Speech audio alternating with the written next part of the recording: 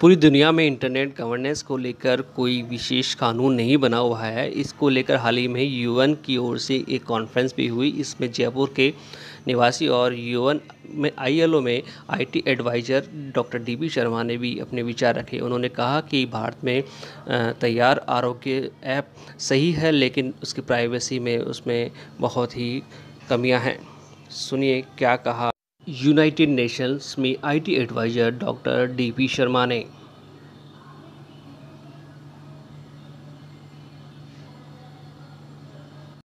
नमस्कार। आज पूरी दुनिया कोरोना महामारी के दौर से गुजर रही है। हमारी सारी वर्क कल्चर कार्य संस्कृति बदल चुकी है। सब कुछ इंटरनेट के माध्यम से हो रहा है। जिस, चाहे गवर्नेंस हो, चाहे वो प्रबंधन हो, चाहे वो एडमिनिस्ट्रेशन हो, चाहे वो शिक्षा हो, सब कुछ इंटरनेट के माध्यम से हो रहा है। इन हालातों में इंटरनेट की सिर्फ़ चुनौतियाँ ही नहीं बढ़ी हैं, इसका लोड भी बढ़ गया है। सरकारें भी इस बाबत चिंतित हैं, तकनीकी विद भी इस बाबत चिंतित हैं। फॉर एग्ज़ाम्पल अभी किसी देश में कोई घटना हो जाती है तो तुरंत लॉकडाउन कर दिया जाता है। अब लॉकडाउन होने पर कोई व्यक्ति जिसका प्रोफेशन ही इंटरनेट पर डिपेंडेंट है, अंतर्राष्ट्रीय स्तर का, वो सब कुछ लॉकडाउन हो जाता है।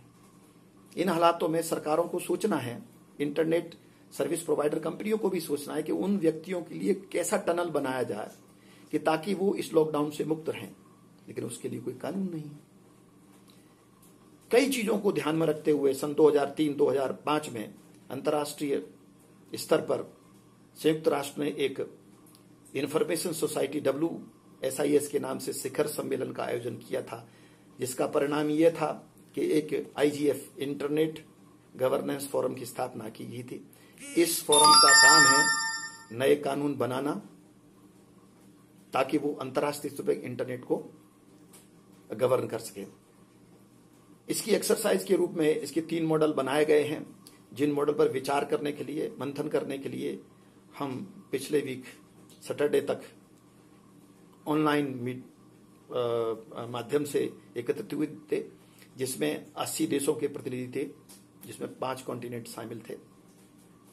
इनमें सबने विचार किया कि हमारा अंतर्राष्ट्रीय लेवल का कानून कैसा हो जो इंटरनेट को सही तरीके से गवर्न कर पाए।